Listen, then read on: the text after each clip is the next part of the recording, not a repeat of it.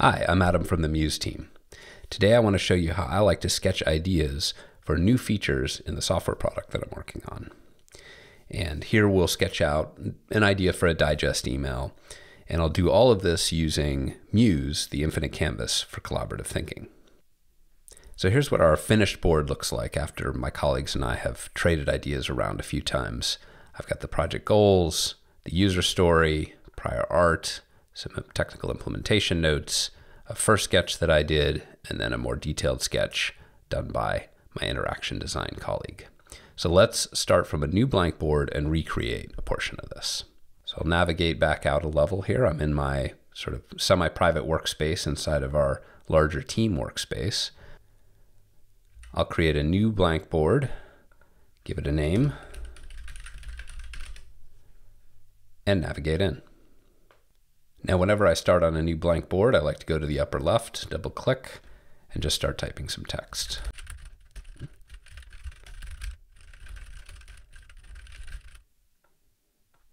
Now with that done, I want to lay out some basic structure here, which is, for me, any feature is going to be begin with a user story.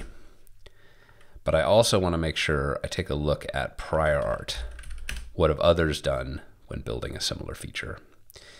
And then I'll do a sketch, just call it a first sketch. And so these three blank boards kind of give me a top level structure for what I'm intending to create here. So now let's drill in on the user story here. I've already written up a couple of main use cases just in plain text, but this is a place where we can use the spatial capabilities of Muse to make this a little more interesting. So maybe I'll make these into titles pull this out to the side, like this, this above, and maybe even I can pull these here.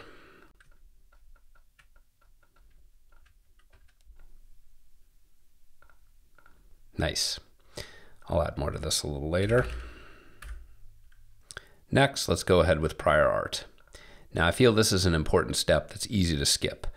But other people have made digest email features before. What have they done in their products? What can we learn from it? What do we like that we can borrow? What do we don't like that maybe we want to avoid? So I just looked through my email here and found a few examples. Here's one from Zapier. So I'll just grab a quick snapshot, drag that right into the Muse board. And here's another one I found from Slack. Grab that. And here's one from Milanote.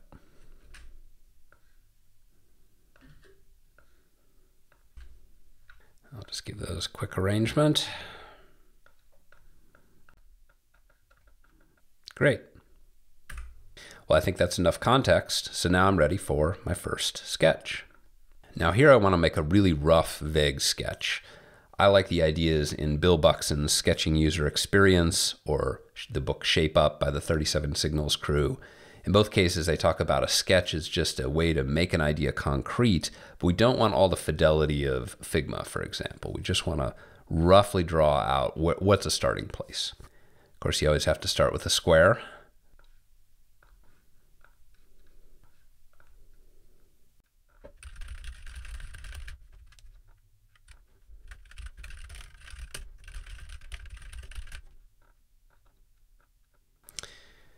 Now just duplicate this a few times.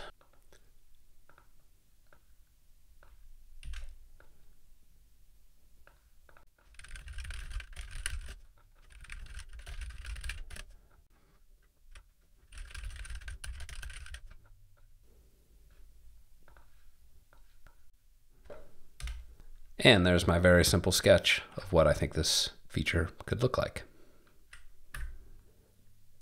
Well, this is fleshed out enough that now I think I can send it over to my colleague Leonard, who's going to be doing the design work, and Henry, who will be doing the engineering work. And so the best way to do that in our Muse for Teams space is select copy URL. So I get a little web link for the board. And I'll just paste that into Slack. Well, that's my approach to sketching a new feature idea on the Muse canvas. Curious how this compares to your experience or how you like to do it? Leave a a comment below. And if you'd like to see the next step in this little story of getting the board back from my colleagues and how we iterated on it from there, you can mention that in the comments. We can do a follow up video. You can download Muse and try it for free on your Mac or iPad, museapp.com. Thanks for watching and happy musing.